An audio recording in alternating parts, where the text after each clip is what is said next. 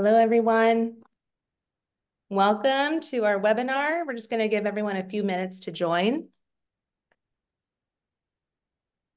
And while we're doing that, meet Matt Winger, our speaker. And then we've also got Allie Bain on. She's going to be helping me with just monitoring the chat and the questions.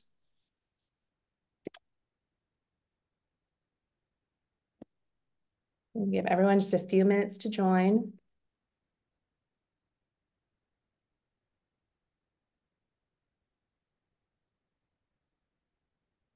Maybe drop a note in the chat where you're joining from.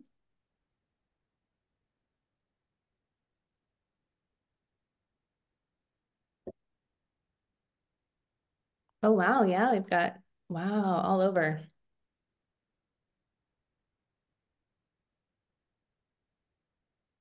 We've got folks from Pennsylvania, Missouri, New Mexico, Iowa, Fort Lauderdale, Scottsdale.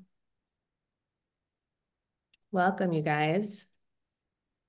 Wow. Michelle Mays, Dr. Michelle Mays. That's that's there pretty cool.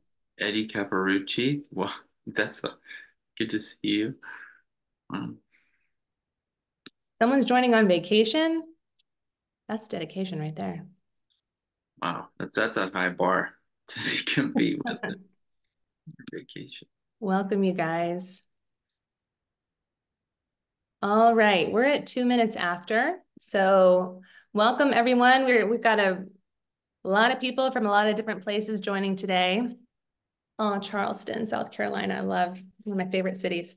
Um, all right, I'm gonna get us started. My name is Tara Young. I'm the Senior Director of Marketing for Integrative Life Network. Let me share my screen here. Just so you guys know, this is being recorded and we will post the recording on our YouTube channel next week. Um, you should be able to enable the captions on your side. Um, if you can't, I'm so sorry. I don't know if that's something we would be able to figure out live on here.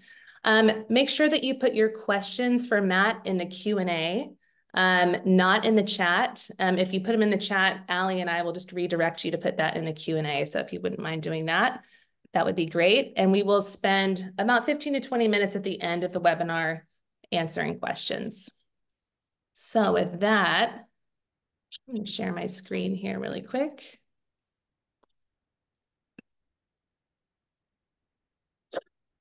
All right, just so you know that you're in the right place.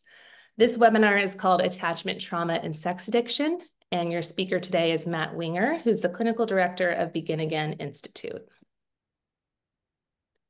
As a reminder, this webinar is brought to you by Integrative Life Network, ILN is the premier family of trauma-focused treatment centers for substance use, mental health disorders, eating disorders, and intimacy disorders. And just so you know, um, I think a lot of people do get confused, but ILN is a parent company for three different brands here. So uh, we have Integrative Life Center, which is in Nashville, Tennessee, which is where I'm located. It's where Allie is located. Um, and then we have Begin Again Institute in Berthoud, Colorado. And then we have Sana at Stowe, which is in beautiful Stowe, Vermont. And Matt, like I mentioned before, joins us from Begin Again Institute. So he's the clinical director of this program out of Berthoud, Colorado. And I just want to tell you a little bit about that before we get started. So uh, Begin Again Institute provides 14-day residential intensives for men uh, 25 years and older who are struggling with some pretty specific stuff. So sexual addiction, hypersexuality, compulsive behaviors, and intimacy disorders.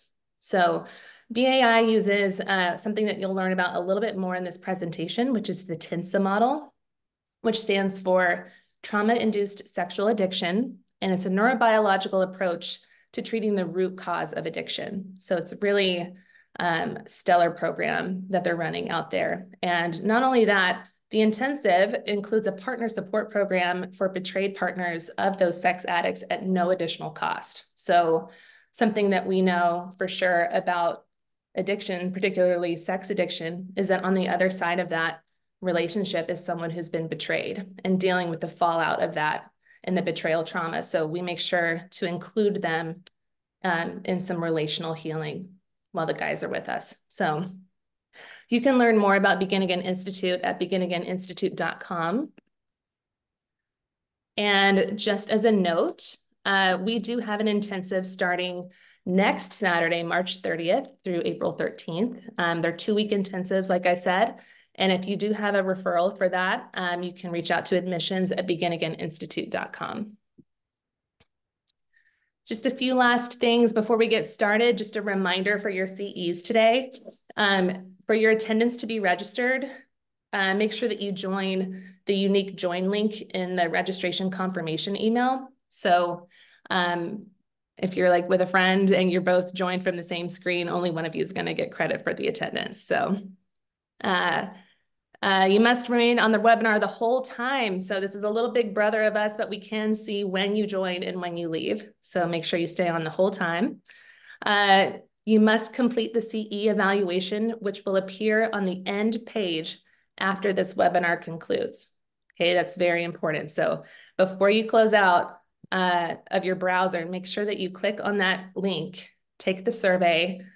Only those who take the survey get a certificate. So that's very important. If you forget to do that for some reason, we'll also link it in the follow-up email.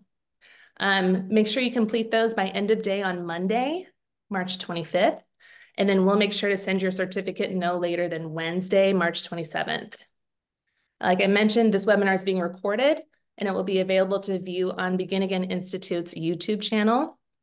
Um, however, CEs are not available for viewing that pre-recorded webinar. And finally, this is a question everybody asks. Yes, you will get the slides from this webinar. We will send them with your certificates once we send those out next week.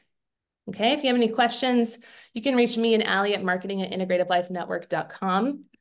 And now let's learn a little bit about your speaker today. Uh, this is Matt Winger. Matt holds a master's degree in couples and family counseling from the University of Missouri, Kansas City. He began his clinical work with traumatized children and young people and learned how complex issues can lead to mental distress and dysfunction in homes. He connected with the TINSA, trauma-induced sexual addiction approach to treatment, particularly the overlap between childhood trauma and addiction, and started working with those who identified as sex addicts at Begin Again Institute. As a counselor, certified clinical partner specialist, and clinical director, Matt is energized by helping clients find words to express their emotions around their traumas.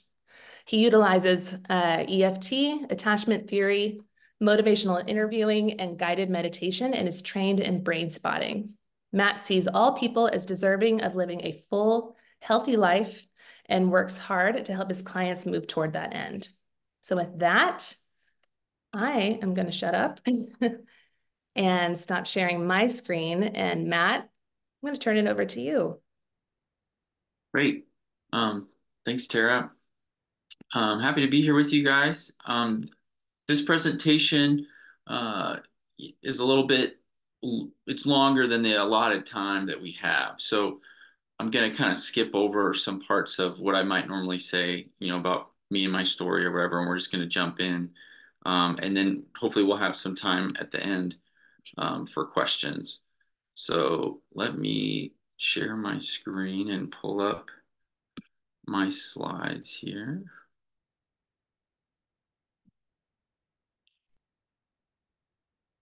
All right, can everybody see that? I mean, I don't know if there's a way for you to tell me, but.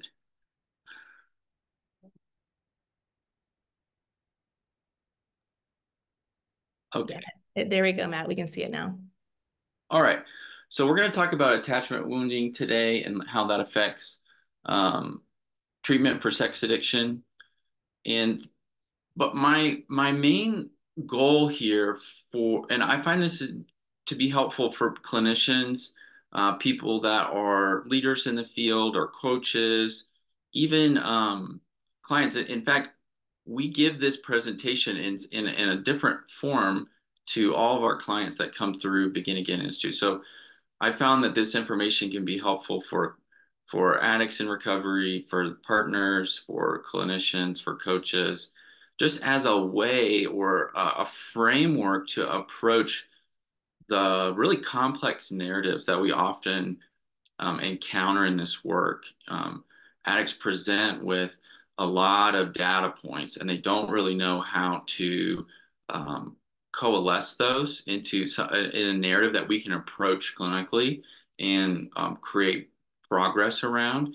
And so this framework that we're going to talk about today is really just a way to generalize or or frame a complex issue in a way that is concise and approachable for clinicians, coaches, clients, and, and everybody in between, right? So we want to get out of the the pattern of uh, approaching these these complex narratives and and, pl- and playing guessing games and and we're spending so much time solving the Rubik's cube of what's going on for this particular person using you know SDIs and and, and so forth.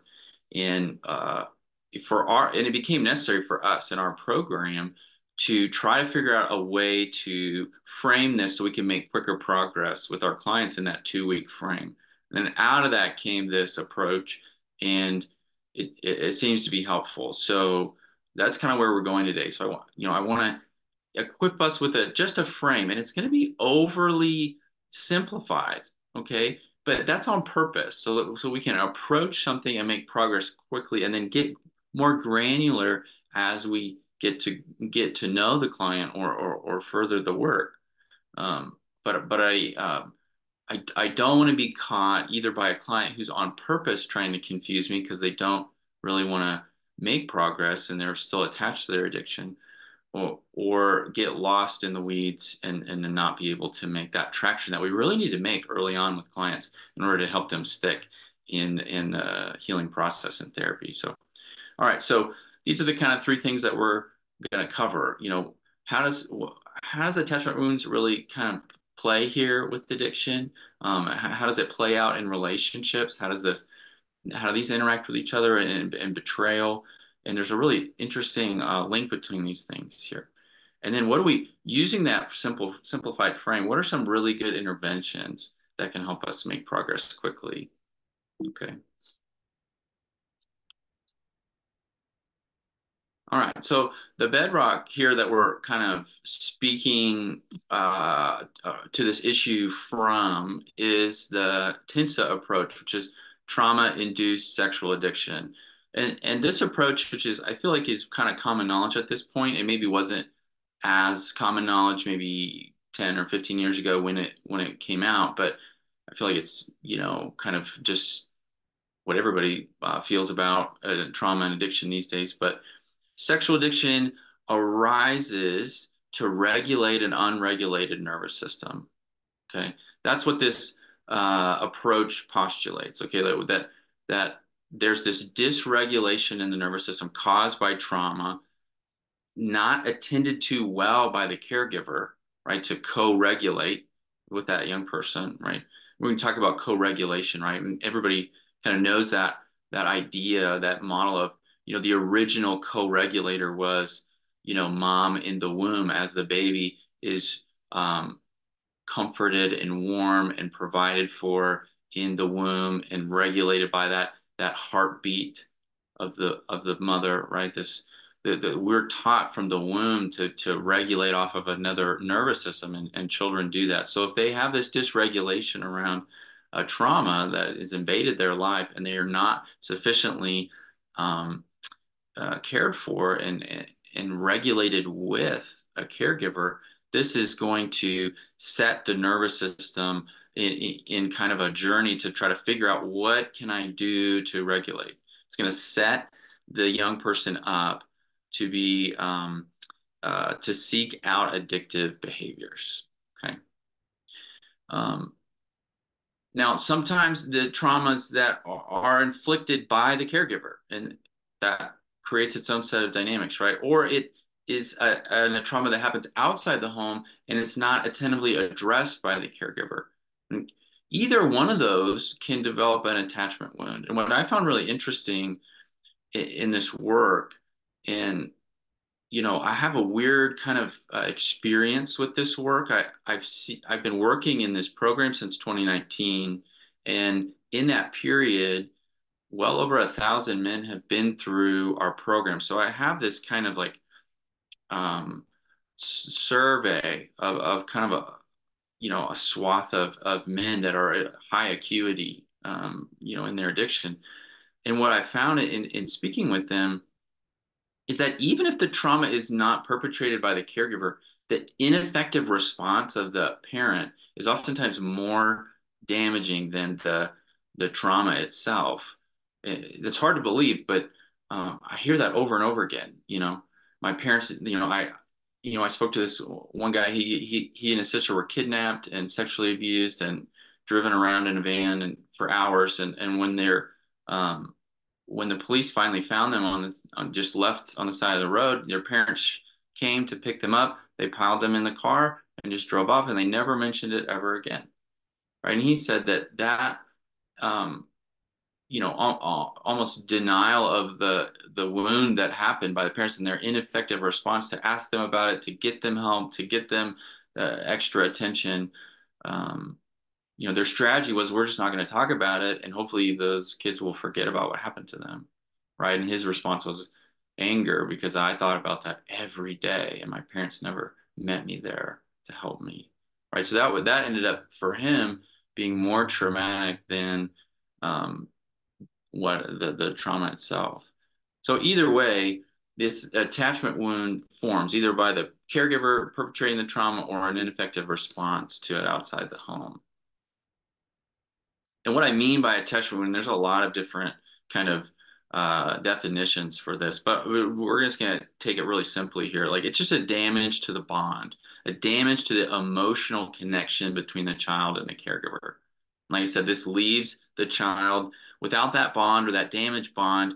Uh, the, the child or the young person has to regulate their nervous system on their own without support, and they're, and they're going to have to find some kind of outside in coping because um, they don't have the resources to do that, and that's that's leaving them primed to explore addictive behavior. So when I say attachment wound, that's all I mean, right? It's just a damage or a break in the bond between the child and the caregiver.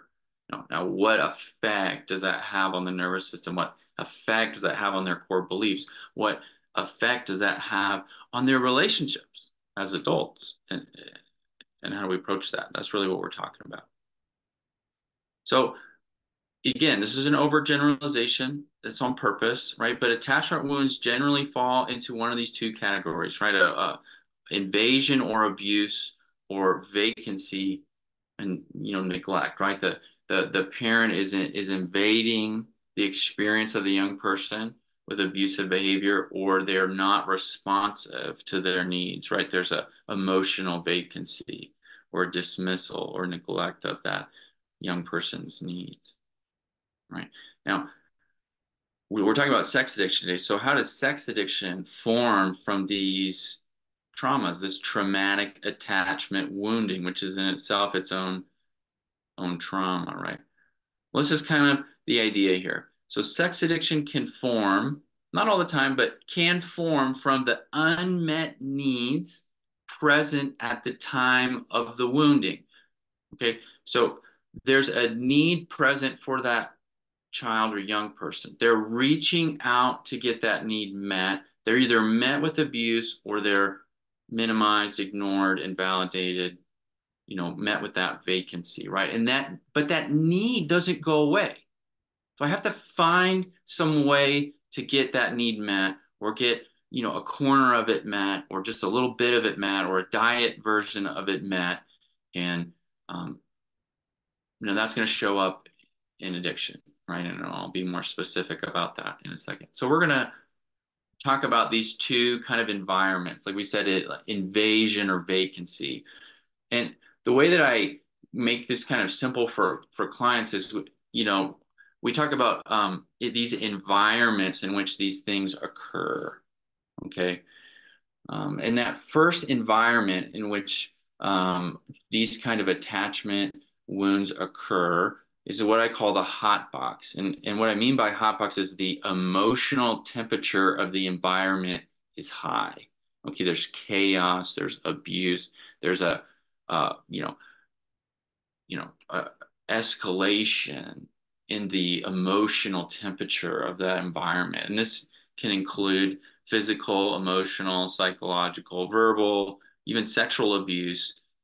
You know, instead of that secure, attentive, attuned um, attachment. Now, uh, the the child or young person is going to naturally expect love and safety and connection and affirmation and all these these are all attachment needs right? They we come out i heard somebody say this one time and i'm not going to give them credit because i can't remember who said it but we we come out looking for someone who's looking for us. Right? we're born looking for someone who's looking for us. And we intuitive intuitively believe that this this big person is going to care for me. They're supposed to care for me. And parents are love their kids, right? And so I must be loved, or I think. And so I have this kind of uh, natural uh, desire to reach out to this big person for you know to reach out to them for connection and support and kids are going to do this again and again and again and again and again you know like i said i I approach this field from, coming from dealing with trauma uh, in children and young people. So I used to see, you know, kids as young as six all the way up to teenagers. And what was interesting about the littles is that, you know, they were coming to see me because they, they had encountered the state in some form or fashion, right? There was abuse, drug addiction, something like that going on in the home. And so their home environment was not great. And we would come, they come to my office, we talk about their feelings, we, we color, we find some colors to talk about their feelings. And, you know, little Susie, she'd feel heard and she'd feel seen and she would, get, you know, gain a little bit of a tool or a resource to help her with what's going on in her world. And she would, you know, leave my office, you know, bye, Mr. Matt, you know, see you later. And her mom or dad, you know, and I remember this specific instance, mom is at the, at the end of the hallway and she turns and she says, "Hey, mommy!" And she's, you know, going to run to mom. Wouldn't that, wouldn't that be great, right? If mom could just say, "Oh, how was it? Did you have a great, you know, have a good time? Do you feel you feel good? Let's go, let's go get some ice cream or something like that." But the response is to her to her literally running to mom, "Mommy!" You know, with her arms out. Mom says, "You know, hurry up, get your things. Did you leave your coat in his office. Come on, we gotta go. We're late. Right. And she's just barking at her and frowning at her and you know raising her voice. And that and it's that moment right of of reaching out again. And how many times had that young girl reached out to mom and hoping that mom was going to run down the hallway to her and say susie i missed you. How was it? Right? And wrap her up. Right? But she's going to reach out again and again and again and again because that's how we're hardwired. But around age 9, 10, 11 years old, something shifts. Okay. And at that age, the brain develops to a point where it can um, discern complex patterns, right? And that desire to continually reach out again and again and again. And maybe this time mom is going to respond to me. Maybe this time dad is going to respond to me. Um, eventually they put it together that this caregiver is not safe or reliable or consistent and they're going to cease to reach out in the same way and attempt to care for themselves. Okay and that so that outward facing arrow towards the caregiver becomes a backwards facing arrow. Okay i guess i have to care for myself. And that sentence there i guess i have to care for myself. I have uh, I've done a kind of an informal poll, right? Of, of, you know, I asked guys in our program, you know, how many men have either said this to themselves, you know, sex addicts that's seeking treatment, have either said this to themselves or, or said it out loud. I guess I have to care. In every group, every time, 100% of the hands have gone in the air, I think, you know, to the best of my memory. I guess I have to care for myself. I guess I'm on my own. So now I have to either, I have all this emotion and all these needs, and that's either going to become internalized in depression or anxiety or externalized into, you know, deviant behavior or troublemaking, fights, you know, burning the school down, getting to know the assistant principal by his first name, you know, that kind of thing right? I got to learn how to self soothe and self-regulate. I got to do it on my own. Now, this is the beginning of addiction. What I mean by that is if I have a need to figure out how to care for myself, and then I get exposed to some maladaptive sexual behavior. And what I mean by maladaptive means it's too much too soon, right? It's either harmful or I'm not prepared for it. It overwhelms my system right? It's not it's not at the right time and it's not in the right way. It's not in the appropriate mode, right? Sexual abuse, molestation, rape, uh, early exposure to pornography. If I get this maladaptive sexual experience and that kind of pairs up in that time frame with my need to care for myself and I, okay that that that felt different. That felt interesting or exciting or weird or scary but but it but it made me feel different. And i didn't like feeling the sad or the overwhelmed or the anxious or the scared. And uh, maybe i didn't like it maybe i did like it but it made me feel different. And i might go back to that the next time i get um, overwhelmed or sad or scared or lonely. And then i might do that again and again and again, right? And then over time, something that becomes a habit becomes more um, escalated and, and, moves towards compulsivity and, and, and it might turn into an addiction, right? Now, what gets really confusing for, for people that have experienced this is when the phrase I love you gets put over this hot box environment. Okay. Now, a lot of guys that, that I've worked with and, and, and in this space, I, I work with men. So that's why I say men or guys when I say this, but this can be true of uh, female sex addicts as well in, and other types of addiction. I've found, um, you know, these, these, these abusive parents or these unsafe parents don't often say, I love you but there's this implicit idea that the child is loved. I'm, I am, my parents love me. They're supposed to love me, right? So they're working out that assumption. Or in these abusive homes, like it gets kind of slid underneath the door. Hey, you know, your mom can't talk to me like that. And I'm sorry you had to see that, but you know, I love you, right? And the kid's like, yeah, yeah, oh, yeah. Yeah, I know that you love me. So this this creates this profoundly confusing environment where where I I'm being told or I have the idea that I'm being loved and I'm being treated this way. Well, how do I make sense of that? Because it's very confusing, right? And the way that kids make sense of this confusing narrative is that I'm going to tell myself a story about that. Kids do this. I'm going to tell myself a simple story that's going to help me make sense of a confusing environment in which I am being told or understand that I am loved, or an intellectual understanding that I am loved, or I'm told that I am loved, but I'm being treated in this harmful way. Well, some of these simple stories sound like this. May I'm bad. Well, that actually makes this make perfect sense. They love me, but I'm bad. And that's why I get treated like this. Or maybe I deserve bad things because I'm I, I do bad things. Or or maybe there's just something wrong with me. Or or maybe I'm just not good enough. Or I'm not meeting the standard. Or I'm a failure or I'm stupid. Right? And this is a these are these uh, phrases that we hear in our clients as adults. But these stories and these these simple cognitions and turn into these little stories. That, that, that's from when they were little, and it's still following them into adulthood. Okay, and they're, they're going to try to um, reinterpret their adult life through this frame, right? Well, I'm an addict, so I'm bad. I'm an addict. I deserve bad things. I'm an addict and I just can't stop acting out. There, there's something wrong with me. I'm broken, or I'm I'm just not good enough. I can't meet the standard and, and um, I must be some kind of idiot because I keep doing these things over and over again and I can't stop. And what's wrong with me, right? Um, my screen just went black. I don't know what happened there.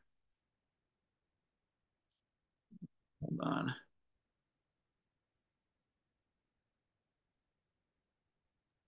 me try again.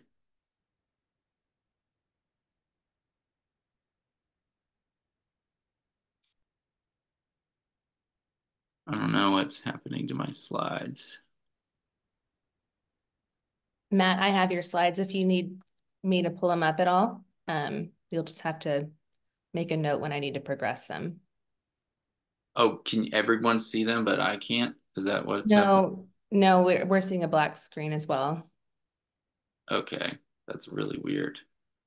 Um, give me one second. Sorry, maybe we can address something in the chat or something while I try to do this. Sure thing. Let me come off a video here.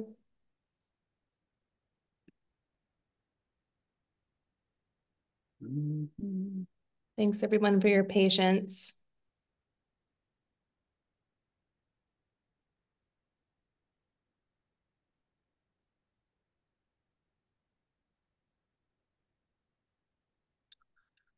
I'm just reloading it. I think hopefully that'll get us to where we want to go. The power of of the internet has failed us.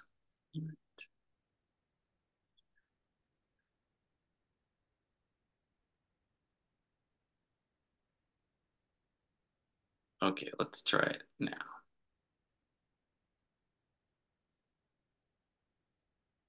Okay, can you all see that? Yeah, okay, I'm gonna repin you. All right. Who knows what happened there? Uh oh, it's black again. Okay. All right.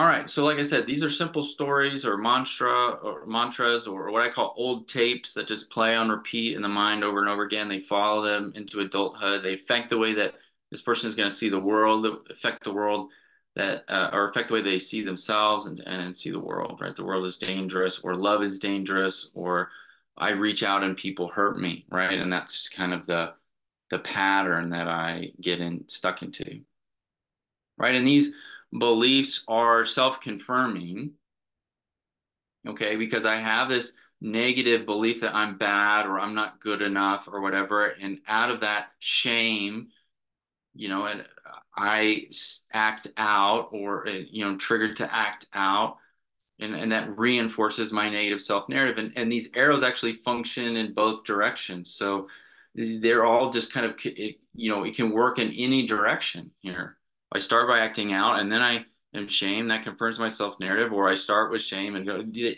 right. It's just this little uh, hamster wheel that just gains, you know, power over time. Um, these self confirming set of beliefs. Now,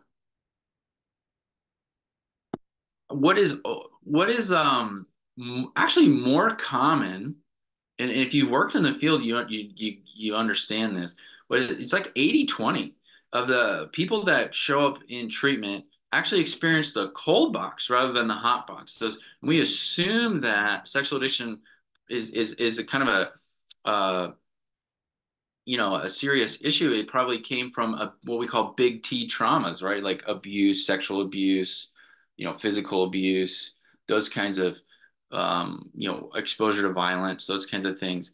But more often, we see this in, in, our at least in our treatment facility we see the this cold box environment um, being the more common one right? And, and in this version of this this environment the child again naturally expects love and safety and connection and affirmation and validation and all these attachment needs.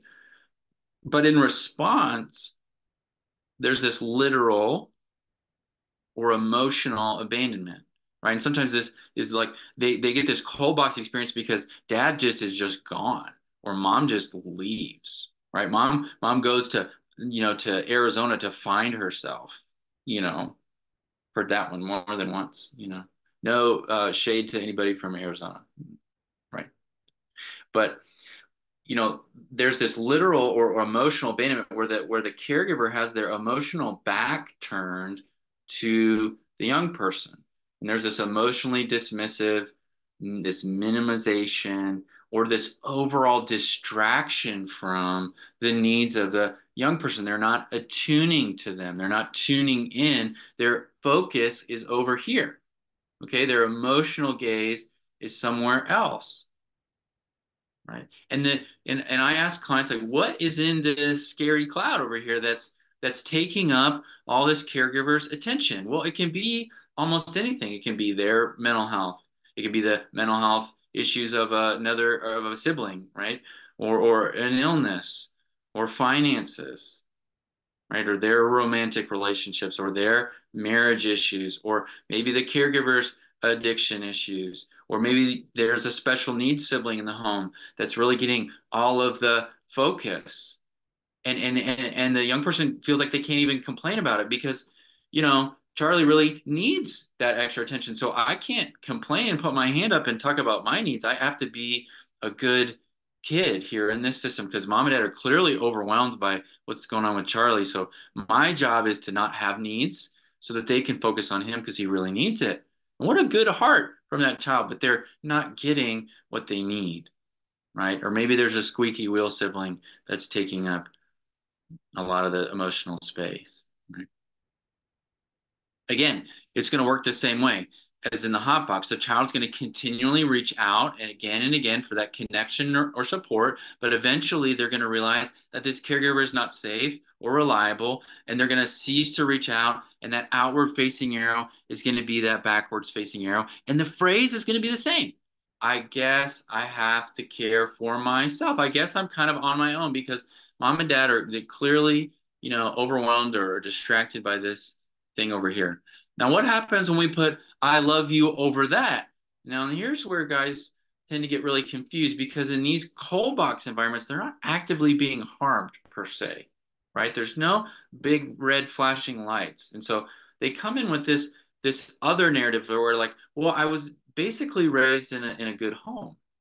You know, we went on vacations, you know, dad was he provided for us. He, he went to some of my games you know, I don't know. I mean, it seemed like the classic American experience. I don't know why I'm an addict, but we, and I was, to, maybe I was told I was loved, right? And I had some concept of that. But when we look at it a little bit closer, we see this pattern here where mom and dad are kind of like looking over their shoulder and saying, yeah, great job. I love you. And then they're distracted again or maybe we'll get all a's and then dad will turn around and say hey great job on your report card. And and like okay well I, I guess i have to get good grades. I have to succeed. I guess i have to be captain of the football team. And they'll kind of turn around and acknowledge me and right and, so i i developed this this frame that okay i can get their attention if i am very successful in this thing or that thing or I can get their attention if I'm really, really bad, right? And that's how they'll turn around and give me what it is that I need. And again, they're going to make up these simple stories around this, right?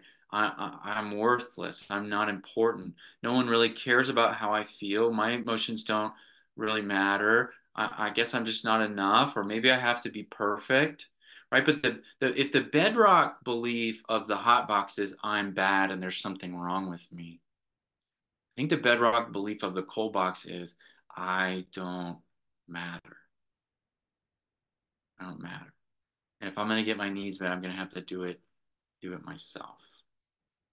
And these guys will show up in group and they'll be really quiet because they don't want to take up too much of the time and you know they don't want to monopolize monopolize this the time and you know I you know yeah, I'm kind of feeling this, but you know, you know, I don't really know what's wrong with me. I had a, I mean, this guy over here had this horrible thing happen to him, and you know, I was never molested by a neighbor, and I, so I, you know, I don't know why, I know why I'm here.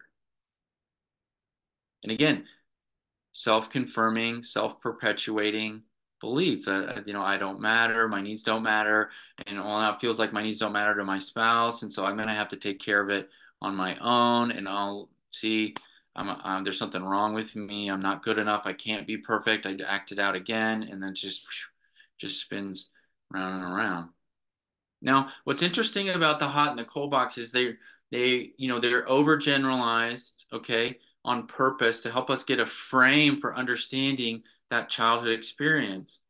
But it's not just a blueprint of uh, what happened to me as a young person. It actually becomes a, a mold, I think, or or what Sue Johnson calls kind of a working model for how relationships uh, go moving forward. I reach out and people hurt me. I reach out and people uh, deny me or dismiss me or invalidate me or ignore me. Right? These this is how I just this is just how relationships work. Right? This is how attachment relationships work. This is how relationships in general work. And and so this is the this is my mold. This is how I understand. This is the temperature of the water that I'm used to swimming in. Okay. So I'm going to either seek out relationships as an adult that fit that mold, or I'm going to impress that mold down onto the relationship, even if it doesn't fit at first, to reform that relationship into a replica of the original dysfunctional relationship because that's what I know. That's what I'm used to. Subconsciously, I want to heal and repair that. So I'm going to seek it out to try to get a second swing at it. Now, there's different opinions about that, but but I think that, that you know more than one can be true, right? That that okay, I'm I'm gonna seek out this kind of relationship because that's what I'm used to, or this is what I feel like I deserve. Is is a painful relationship that you know kind of an idea that's that's based in shame, or um, I'm going to recreate the the traumatic environment so that I can try to overcome it. I think multiple, you know, perspectives on that can be true at the same time. Right. And again, this is subconscious. Like nobody's seeking out a relationship like give me another swing in my relationship with dad. You know, let me get another swing in my relationship with my mom and I'm gonna do it right this time. But um, you know, I think subconsciously there's a lot of evidence there in our field to to to give some credence to that thought. Right. So this is where I would normally slow down and say, what um, you know, what box here are you identifying with client A, client B, you know, um, what, what are you resonating with? And they're gonna they're gonna you know a lot of times they say this one or that one or, or I feel like maybe I got a little bit of both, right? I got this hot box dad and a cold box mom, or vice versa, and and and dad is really chaotic and dangerous, and mom is kind of uh, wilting in the presence of that danger and is trying to care for herself. So she's not present to the needs of the child because she's trying to survive in that environment too. Or those roles can be reversed, right? So some people feel like they've got some mostly cold box or mostly hot box or some version of both. And then some people actually describe, well, I feel like I kind of got both in the same person, right? I got some hot box. Sometimes they would abuse me and overwhelm me with this, or, or sometimes they, they would just be completely absent and I can't reach them.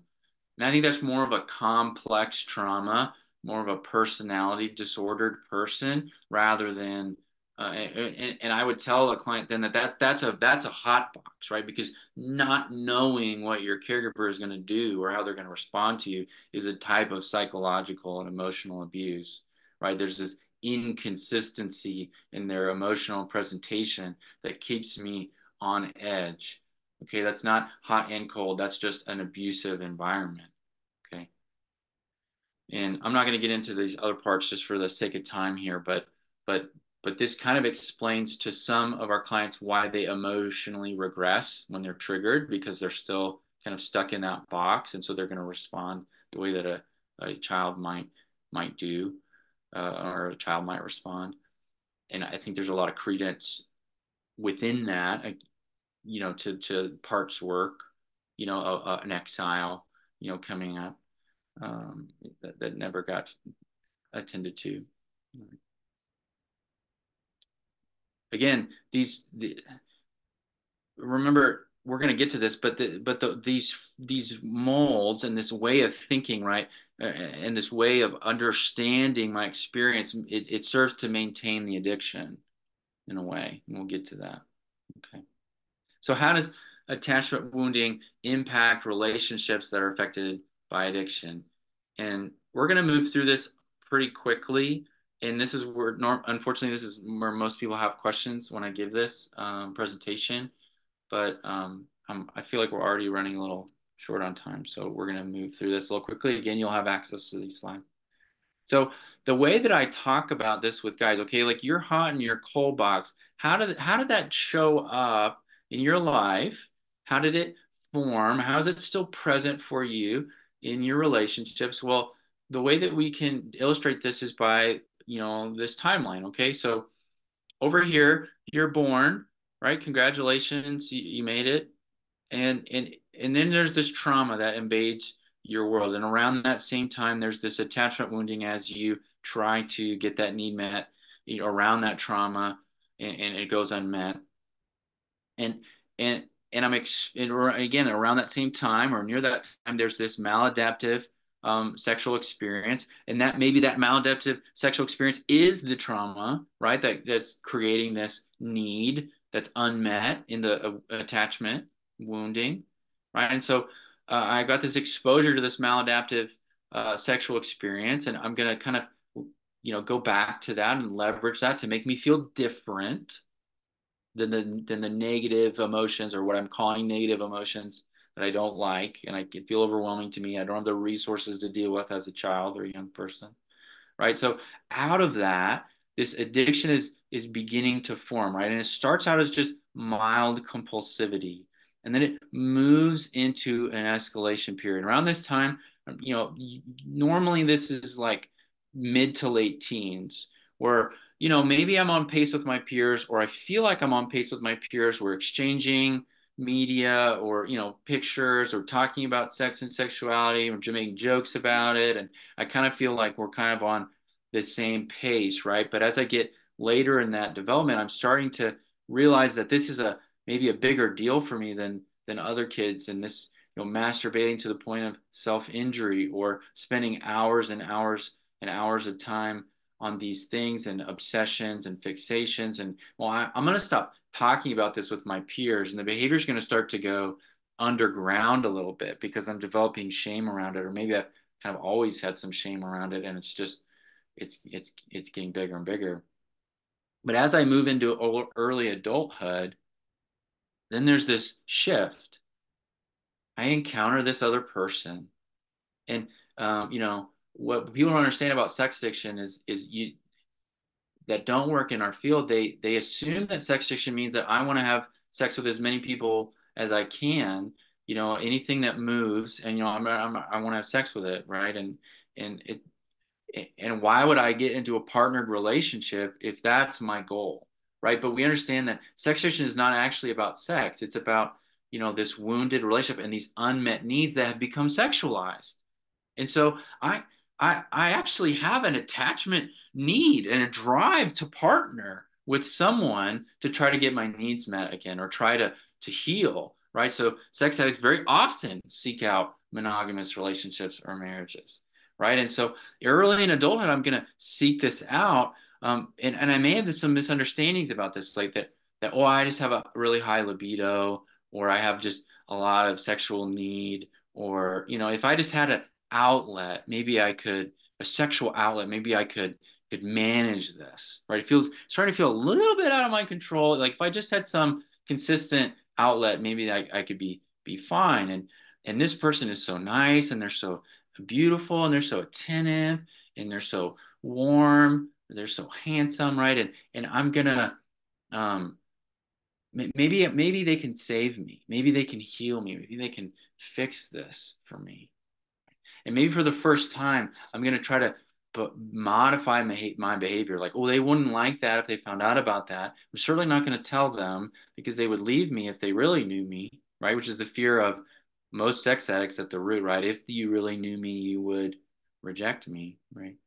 So I'm going to start to maybe but try behavior modification for the first time. But as I'm in that period, there's becomes a shift. There's a shift here where um, the it turns from a relationship into an attachment. And sometimes this happens by revolution right? All in one moment where i'm like oh wow this relationship has shifted for me. Or it can evolve over time. We go from a relationship to an attachment. And all that means is that i'm going to start looking to this relationship to get my needs met. Whereas before we were just hanging out having fun maybe we're sleeping together maybe we're not maybe we're living together maybe we're not um, but there's some moment or some evolution there where the relationship shifts from uh, just a relationship to an attachment where i'm going to turn to this person to get my needs met and guys are sometimes able to identify those moments. Like I was uh, texting women on the way to my honeymoon. I was flirting with other women at my wedding, right? There's these emblematic moments that where there's some shift internally for them where the intimacy becomes uh, too much beyond their um, ability to tolerate that kind of closeness or these hot and cold box attachment woundings start in, in, in, the goggles that I have from those experiences start to shift the way that I'm interpreting the relationship. Like, oh, well, she really um, overreacted to that. Uh, oh, she's got kind of a temper there. Or he, you know, didn't really respond to me in that moment in the way that I needed to. I felt kind of abandoned there. And oh, look, here we go again. This is just like this or that, right? And that those attachment molds arrives they arrive as that relationship shifts into an attachment and i begin to look at it through those lenses and what but so so why is this so scary well because what happened then the last time i was in an attachment relationship it didn't go great and i had to care for myself so that system is is back online and and and, and addiction begins to escalate a little bit after this point, right? And we'll pick up the timeline a little bit here. But in a partnered relationship, what is the partner thinking at this point? Well, they they're sensing a shift in the relationship. They're not aware of the acting out behavior, so there's some confusion. There's a little question mark there.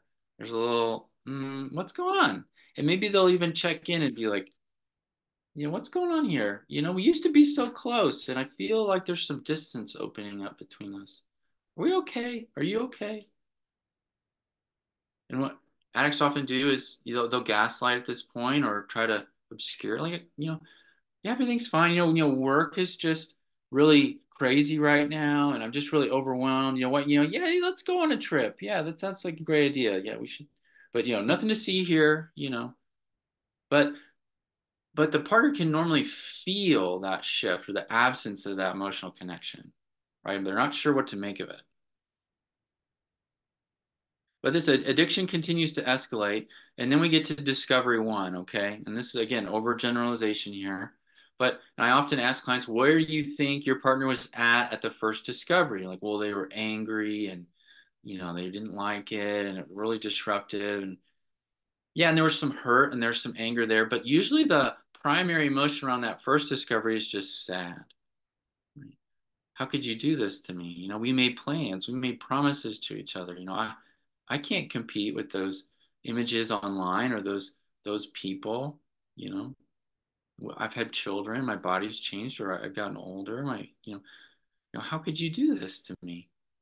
Right, and they're they're sad, they're feeling left and abandoned and inadequate, right, and hurt. Well, I I'm still stuck in that hot box, cold box, right? And I and I I'm looking to this person to get my need met, and a sad person isn't very good at getting my needs met. I'm not. I never was taught or shown how to move towards a sad person and comfort and care for them. That never happened to me, right? So I've got to figure out how to care for myself. And you know, I'm the one that did the bad thing. So how am I supposed to be the one who's going to comfort, right? So I, I I'm going to pull away from that sadness and and they're just going to have to kind of figure it out on their own because I can't intervene, right? I don't, no one they, they don't have the idea that I can be the wounder and someone that is trying to seek to comfort like they, don't have that toolbox, right? So I'm going to pull away and I'm going to have to take care of myself and a sad person isn't very good at meeting my needs. So the addiction continues to escalate. And then discovery two, now, where's the partner at this point? Well, this is usually where, like, oh, yeah, they're pissed. They're really mad. This is the four letter words. This is the escal. This is the yelling. This is the big blow up, right? And, and, you know, you mother, you told me that you were done and you told me you were going to get help and you told me that we were going to get counseling and that you were going to stop and you told me it was a one time thing. And now I'm filing out all this other information and you're a liar and I hate you and get out. I can't even look at you. Really high volume, right? Lots of stuff, right? Well, guess what? An angry person isn't any better at meeting my needs than a sad person, right? And that's a little bit more scary. And so I might get activated around my trauma and be, I'm going to rise to the occasion. Oh yeah, f me, well f you. You know, you you never forgave me for the last time and you've been holding me in contempt and you've been resenting me and you've been right and, and you we don't have sex and we don't have this kind of sex that i want to have right and this is your fault and you treat me and you walk around with all this contempt and that's why i act out right and maybe the partner buys that maybe they don't right but i'm i'm not going to move into accountability i don't know how to do that i'm not going to move into responsibility i don't know how to do that i don't know how to sit with that anger that anger is dangerous because that means you're either going to abandon me or you're going to hurt me, right? Based on that hot box cold box. So again, I'm going to pull away, and now I'm now now we're moving into this right where the mold is almost all the way down. Now, what happens at discovery three? Well, they were already really mad. They were already really on edge, and maybe they allowed themselves to hope a little bit that things were going to be different between discovery one and discovery three. But now they're feeling all of the things right? They're confused about what's happened to them. They're angry about the way that they've been hurt. They're sad about what they're grieving the loss of what they thought they had. They're they're crushed. Their their heart is a million pieces on the floor, and they're starting to feel a little uh, crazy, right? This is where that PTSD, that betrayal trauma, is coming into full full bore, right? And they're going through the phone, they're going through the emails, they're going through bank statements, right? And, and they're doing this detective work not to catch him in the lie, but to try to establish their reality and establish safety, to establish some sort of norm that they can work from and be safe from, right? And guess what? The addict has now cultivated a person who is either so numbed out and done, which a lot of partners say at this point, like, I'm just done, I'm just done, that they can interpret that person as dismissive. Or they've cultivated a person in their addiction that is so hurt and angry that they can uh, call that person abusive. Right? And now the mold is down all the way and i'm back in the relationship that i think that i um, and, and ought to be in right it reminds me of my childhood experience right where the addict gets to cast themselves in the role of the victim and they get to cast their partner in the role of the dismissive person or the abusive person, right? I look, here we go again. I reach out and they dismiss me, right? They're not, they're just done. They don't want to be in relationship with me. I'm trying, I'm trying, I'm trying. And they just, they turn their back on me and they won't meet my needs, right? Or, uh, I've been trying to overcome this addiction and you know it's they're so angry and they're they're so reactive and they, they've got a temper and I'm reinterpreting history because most of the time they weren't like that before all of the betrayal. Now, partners bring their own wounding to the party, but what we say is that addiction sets it on fire, right? And maybe they had some personal issues that they needed to work on that were going unaddressed, but the addiction just goes, right? But but the addict says, well, look, I just got a bad partner here right? I got a I've got a relationship problem, not an addiction problem. And if I was with somebody else, I wouldn't be doing this because I have to keep myself safe from this really dangerous person, right? And maybe I should be with my affair partner, right? They seem to really get me or whatever, right? But what's what's wrong with this? Well, the reality is the roles have actually switched. And the addict is claiming the, the role of the victim when they are perpetrating trauma into the life of the other person, right? Their addiction has either made them dismissive and distracted. They're so obsessed with it. They're so focused on it that their emotional back is turned to their partner, or they're so wound up in their addiction that they become emotionally, psychologically abusive in the gaslighting and the controlling behaviors and the manipulating behaviors and maybe even physically intimidating right? Punching holes in the wall or whatever. They become uh, abusive. Now now what i slow down here with guys and i say what do you think it's like for a partner to be told that they are the problem when they are the one being uh, traumatized or abused that's a special kind of you know uh, psychological torture there, right? And of course, they're they're struggling. Of course, they're grasping. Of course, they're in the place that it, it makes sense. Their betrayal trauma symptoms, their responses, and their reactivity is a normal response to the way in which they have been treated. Now you're now I don't addicts are not Machiavellian, right? They're not cultivating this person and breaking them down step by step and and, and, you know crumbling them into rubble just for the fun of it, right? They're they're they're reliving and re-experiencing these traumatic woundings. Um, eh, this is what they're they're used to, right? And this, but and it keeps the backwards facing arrow alive. As long as this person is not meeting my needs and I can interpret them as not meeting my needs, I have to take care of my own needs. Okay. And these unmet needs that arose during the wounding are still present and they're distorting the perception of the addict. They're convincing the addict that their partner is, um, you know, the, the, the, the, that their partner is the problem, right? And that they're the victim when really that they're the perpetrator.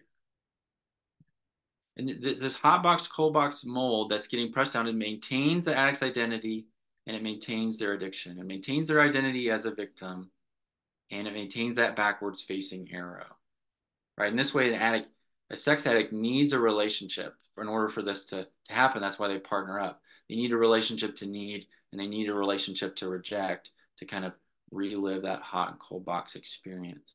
And so now they now now through that distorted lens, they can see the relationship conflicts as the problem, not the addiction, right? I act out because of this conflict, right? And so the relationship conflict becomes the primary trigger for acting out both because it's distressing to them and it reminds them of their original trauma.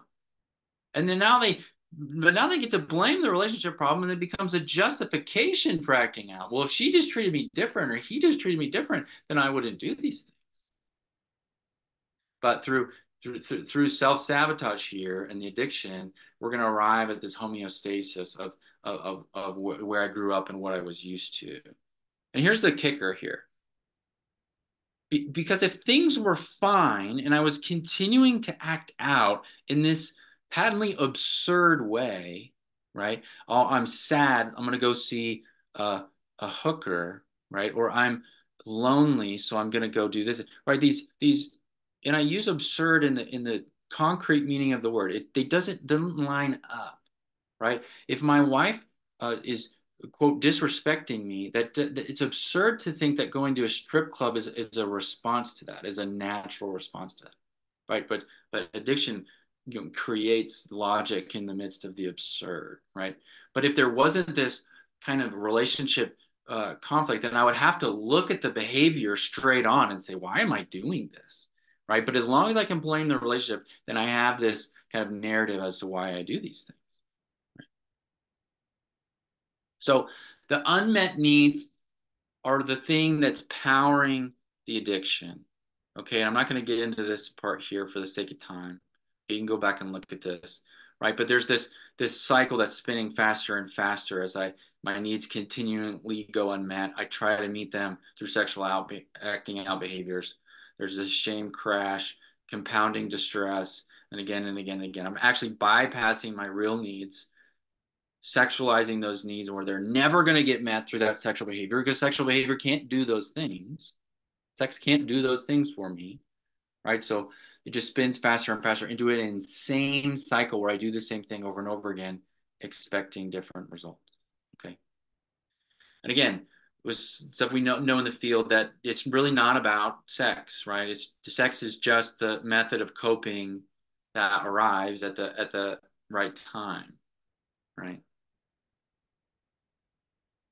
Okay, so what we need to do, so this is where we get to the intervention portion here.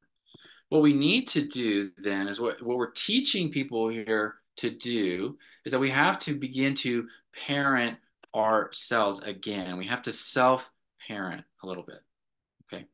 So, um, and do I, how much time do I have, Tara, before the Q&A or am I already over time?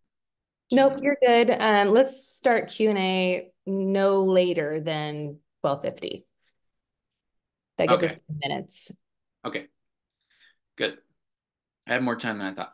All right, so what we got to do here is we got to go back into that frame, right? That hot and cold box frame, and we've got to kind of meet that woundedness in that moment, right? And what we call that there is self-parenting or re-parenting, and I think that's a, a, a, kind of a popular phrase nowadays, and you're going to see it a lot on the internet. You know, I think Ken Adams actually has a some good stuff on you know around this that I wasn't aware of when when we were thinking about this at the time. Um, I was a little bit late to the party um, there, but um, what, what we need to do first with these is to like get this kind of intellectual understanding first that that I have these unmet attachment needs that are powering the addiction, right? That I'm going to these addictive behaviors to try to get attachment needs met in a way that's never going to meet them. I first have to recognize that this is happening for me, that I'm stuck in these these hot and cold box ways of encountering relationships. I'm seeking out these things. And what I really need to do in order to find real health, okay, is to figure out how to meet these needs with in my adult self that has resources, that has the you know um, the capacity with tools and help and therapy to figure these things out. So the second bullet point here is I need to move to meet the needs. I need to recognize what they are and then move to meet them. In there, so this this shows up. Um, I, I need therapy, right? I need to I need to join 12 step. I need to find some community and connection with people I need to seek out relational healing for my relationship. I need to, you know, seek a full therapeutic disclosure or whatever to begin that process of relational healing. Like I have to first intellectually assent to that reality, right? And then the second piece there is that I have to acknowledge that my perceptions of relationships and conflict have been distorted.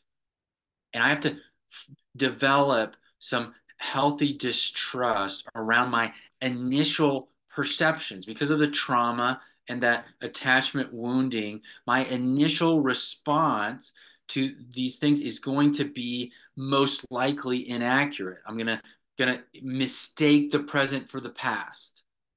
And i'm going to get into this this kind of bind between the real and the perceived. Am i really in danger or am i perceiving that i'm in danger this is where we say and you guys probably heard this phrase a lot is, you know, first thought wrong. My first thought in relational conflict is normally going to be wrong, right? Oh, I'm under attack. Why are they stabbing me? Oh, I feel so cornered. I feel, you know, suffocated. I feel, you know, these are verbs that are masquerading as emotions, right? And and most likely that's not happening. They're they're reaching out they're sharing their feelings. They're sharing anger or hurt or pain. I'm not actually under attack. I'm actually safe. This might remind me of something that was dangerous. And I'm perceiving it as something that's dangerous, but in reality, I'm very safe unless they have a knife or a gun and then, you know, get out of there. Right. So we're, we're trying to teach these guys at first at the intellectual level that I have these unmet needs that are distorting both how I get those needs met or how I ought to get those needs met, and then and then what is happening to me in my primary trigger, which is normally either my romantic relationship or like continued interaction with my family of origin. Like I can't tell you how many times I've worked with guys that are still working in the family business. And if you have um, a sex addict that you're working with and they're working with dad like they need a new job okay? We have to sometimes create the environment that's going to foster their healing. It's going to be really hard for them to find sobriety you know working in the family business you know still so that second part of self-parenting is arguably the more important part is that we have to um, experientially move the needle here. We have to start caring for ourselves in an experiential way. As therapists we have to provide a space in which they can experience um, what it's like to care for themselves and and and meet the moment right? To have some sort of corrective or cathartic experience around that that wounding and to experience that, not just uh, an idea, you know, but traveling that 18 inches from here to here, right? And and the way that we do this, we're going to use trauma treatment to revisit and reprocess these traumas, right? Brain spotting is very effective for this in our program. Okay, we really I see a lot of great um, um, responses to brain spotting. EMDR works really well if you're in kind of that long, longer term, like week to week therapy. Like EMDR takes a little bit longer to set up. And so we like brain spotting because we can kind of get at it a little bit quicker that way. No shade on EMDR. I think it's great results. And a lot of guys um, talk about those things. There's also other trauma treatments that are, that are kind of out there these days. And, and the, you know, there's some, results that are coming from those. I think IFS is a great intervention as a trauma treatment, guided meditation around IFS or inner child work. Like all of this is going to create environments for me to intervene and reprocess. Okay. And, and I really like guided meditation for these of, of, of kind of a re-parenting moment to revisit a traumatized memory or a trauma, a trauma experience or an emblematic moment for them and engage with the wounded self to try to actually meet the need that was present in that moment. Okay. And an example of that um, that has always stuck out to me as I was working with this um, guy in group, and he was really struggling with this high activation in his nervous system, right? And he he felt compelled or, or pushed or, or, or carried along in his uh, nervous system to in order to act out because it just felt so overwhelming for him right? So he was he was processing that with the group and just and i could see that happening almost like the the thermometer in a, in a, in a looney tunes you know just, right in, in in his activation right? And i asked him you know what um where did he first feel that moment? What was a, a memory that that that he could go back to like i think that was maybe the first time that i could felt that energy building in my system and he starts to describe how he was abused um, as a young person by the the handyman, the family handyman, the neighborhood handyman. The handyman would come over to the house multiple times a year for years to fix things around the home, and he would, uh, you know, parents were, you know, out to lunch, right? They were not attentive. They were not supervising correctly, right? And so the the the handyman would find a way to lure this kid into the basement, whether he was working on the water heater or whatever. He would find an excuse or way to lure that boy into the basement and he would sexually abuse him down there. And this happened multiple times a year for years. Right. And so what we did there is we helped him ground himself safely in that memory, the, the smells, the textures, the things that he could see and hear in that space.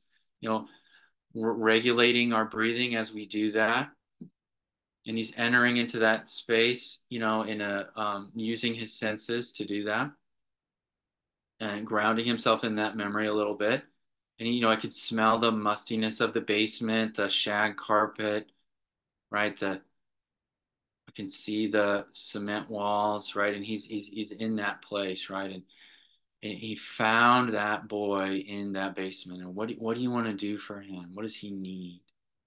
Like, he needs to get out of there. He needs to be rescued. Okay, well, let's go and re- what, what is he? What do you want to do? And, and he picks him up right in his mind's eye, like a firefighter, right? Arms underneath his arms, like you, arm underneath, you know, his his knees, and he's carrying him up out of the basement. And he's he's crying, he's weeping, and right, and like Everyone's getting a little emotional. We're all coming around him to support him in this, right? And he brings him up out of the basement, rescuing him and brings him out into the, he says, out into the light of the front yard. And oh, he's out in the front yard. What do we, what does he want to do? He just wants to play. He just wants to be a boy. He just wants to kick a ball. He just wants to play. He doesn't want to be in the basement. He doesn't want to live in that place anymore. He just doesn't want to have to be burdened or to think about that experience, right? So he, he just kicks a ball with him out there in the front yard and he comes up out of that and he's just weeping and and we're all you know i'm crying you know i was moved by this as, as well and and he says to me matt what do i do if he goes back into the basement I said the thing that you guys are all saying, right? Then we go back and get him. We go back and get him until we don't have to anymore. Right? We're not going to abandon him down there anymore. And that's what happens in the trauma. We end up treating that wounded kid of a, that in that past hot box and cold box like the abusers did. We're like, oh, we're going to ignore him, and ignore his pain, or he's stupid, or he's weak, or he shouldn't have gone down there. He should have known better. Right. And we end up treating him like the, those caregivers did instead of going back to that place, finding that that young person and trying to meet the unmet need in that moment experientially. And I've seen incredible progress and then very quickly when we use this hot and cold box frame to fashion interventions that are designed to um, meet those unmet needs after you know. And you know self-parenting is theory. It's you know everybody at this point kind of understands the power of you know uh, corrective emotional experiences there right? But we're targeting those around the unmet needs right? And and and helping guys understand what their core needs are that are they're trying to get met in their sexual addiction okay? And what what happens here is that we get to move the client into not the hot box or the cold box but a third box where we're getting to meet relationally with other people on on equal footing right? There's not a power differential. We're giving and receiving love and value.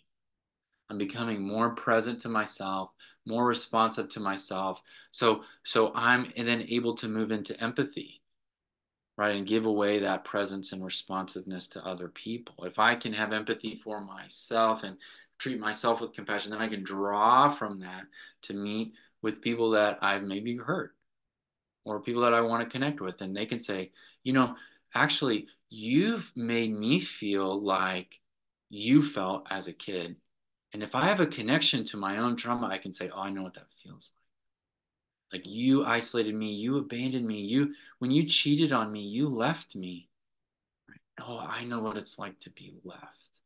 Because I'm now in touch with that. And so we see that softening where I can then disclose my worries and my fears.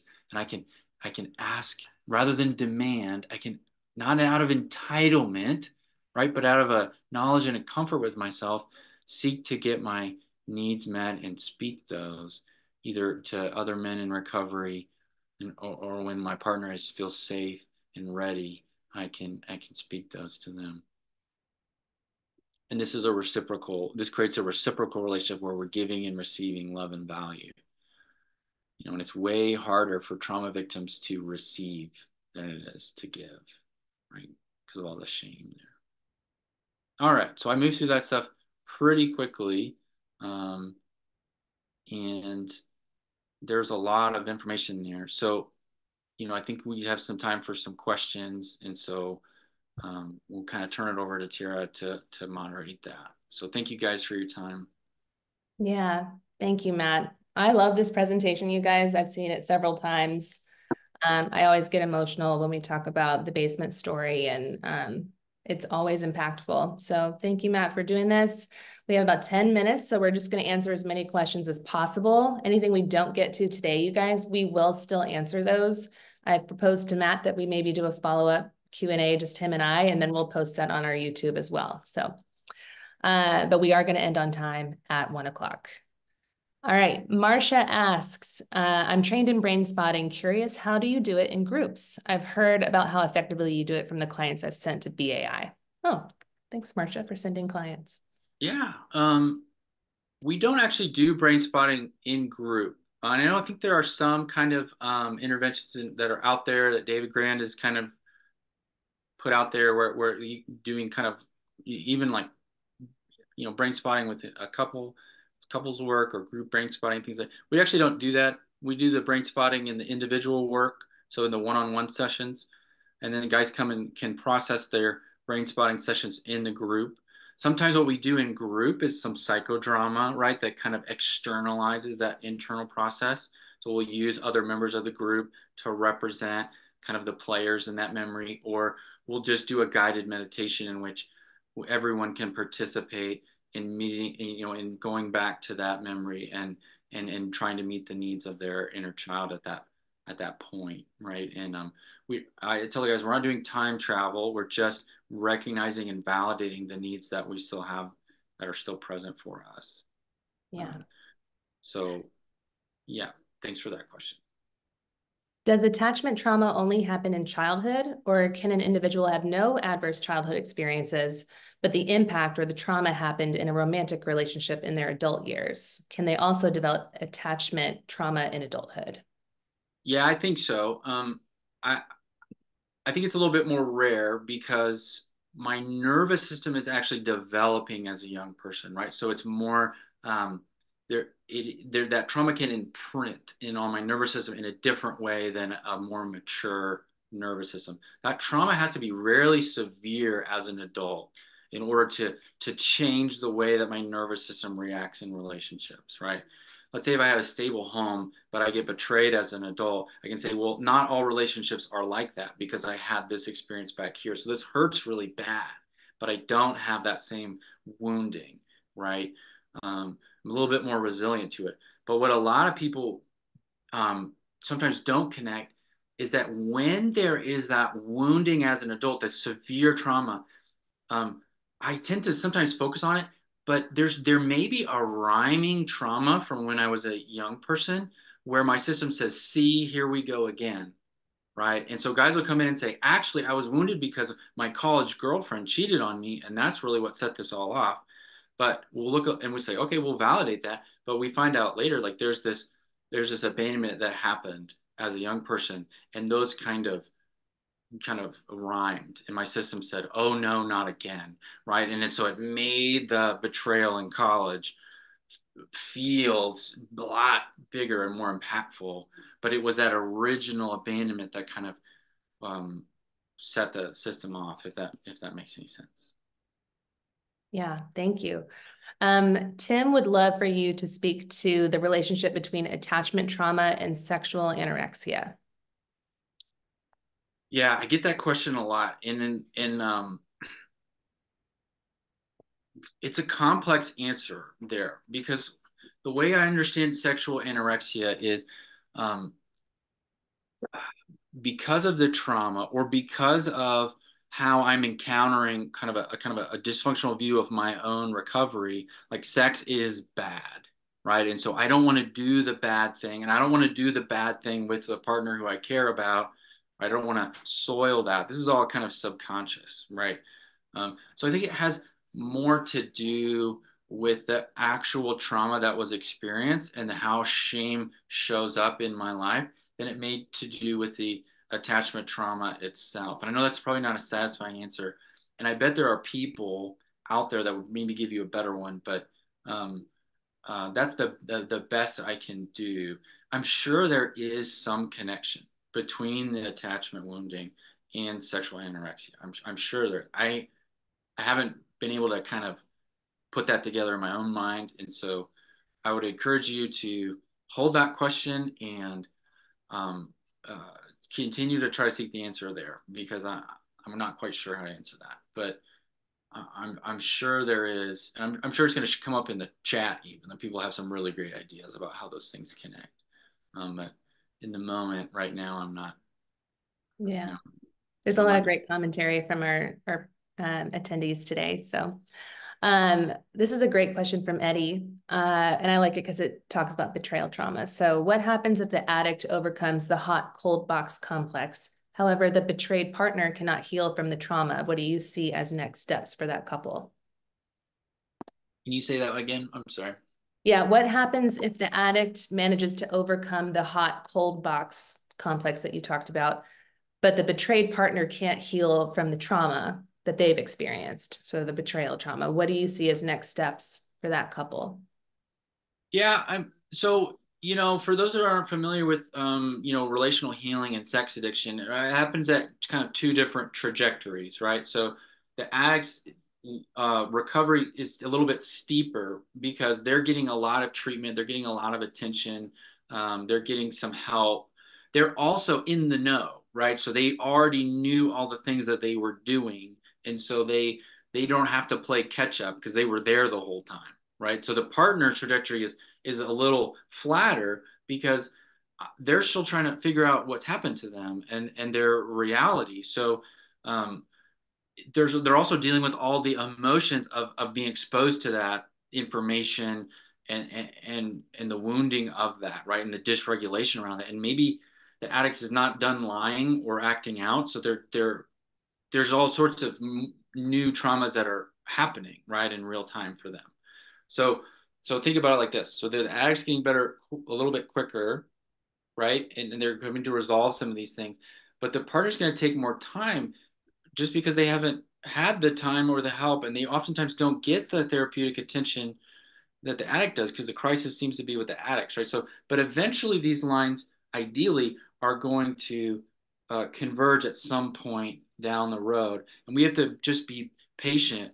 And it's actually really good for addicts to do that because when I, I'm giving time and compassion to to this to my partner as they work through this, right? I'm not gonna I'm not gonna cut their arm off, right, in my sexual behavior and then walk away because I don't want to get blood on my shoes, right? I, I, I'm going to be present to that. I've had 20, 30 years of my addiction, and now I'm going to give some time to this relational healing. I'm not going to walk away because she's not getting it or he's not getting it quick enough. What we do need to do is find some sobriety, um, find some consistency, move into recovery, which is defined by empathy and presence and transparency and vulnerability. And then as I get create some safety in those relational choices, I can move into uh, couples work, right? Um, Carol Sheets has some great work around early recovery couples work, right? Where where I'm, I'm validating, I'm uh, acknowledging and validating and reassuring. I'm meeting those triggers with emotional presence. And what I'm doing as I do that is I'm honoring that little boy. I'm honoring that traumatized young person because I'm giving I'm giving away what I needed, right? So that's kind of the broad broad strokes there, but that's kind of the direction that we want to head in the coupleship, you know. Yeah. I think we have time for one more, which is a shame because we have so so many great ones in here like I said, we will we will answer these later. Um, Can I say but, one thing? Yeah. I, I want to say one thing. There, there's actually someone in this training that has really good information on it. So Eddie Capparucci, I know that he could answer that earlier question better than I could about the connection between attachment wounding and um, sexual anorexia. So I would encourage you guys to kind of seek out Eddie's stuff in some of his books because uh, I'm just not able to recall it, but I but I can I know for sure that he would be able to answer that question better. Yeah, that's great. Um, let's just end on uh, what is the overall long-term success rate of treatment for this for sex addiction and developing healthy attachments? One more time. What is the overall long-term success rate of treatment for sex addiction and uh, developing healthy attachments?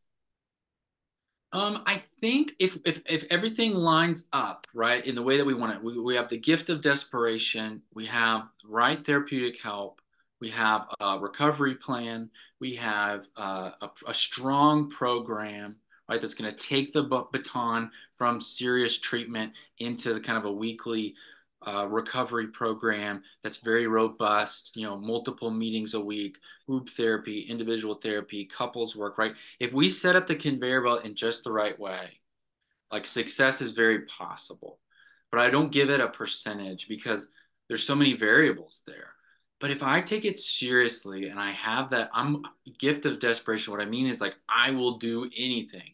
I'm willing to do anything to get better then your chances of getting on that therapeutic conveyor belt and following that to the end and getting better is really, really high. Um, and it's going to be hard. It's going to kind of mark the rest of your life, but it can move you in a, a, into health in a way that can sometimes be deeper than people that haven't had addiction recovery, that aren't really paying attention to their inner world and to the inner world of other people around them. So, um, you know, I don't I don't calculate success from our program in terms of people that don't act out anymore what we actually do is we assess relational capital. Have I grown in my ability to be trustworthy? Have I grown in my ability to be a safe person? Have I grown in my ability to empathize? Right. And and that's how we establish success. And what you do with it, right, is really in the hands of the person in recovery after that. But when they fall, let me say this: when they follow the advice of of BAI and BAI generally aligns with the field, very likely that they'll get better. It's just, you know, it's a tough yeah. road to hoe. I think our our quite robust alumni program, I think, speaks to the success of this kind of work. So it works. Yeah. Um, and we love those guys that come through our program. So um, with that, you guys, uh, we will send you an email with a link to our follow-up Q&A. I hope, Matt, I'm not speaking out of turn by saying that you'll do that with me. Um, and then just a quick reminder, once I close out this webinar or once you leave, make sure you fill out your evaluation. I can't give you a certificate of completion until you fill that out. It's just, them's the rules. That's how they want us to do it. So, um, and if you happen to miss that or can't find the link, we'll also send it via email. But I think that's what we've got today. Thank you all for being here and we'll see you on the next one. Thanks, guys. Bye, Matt.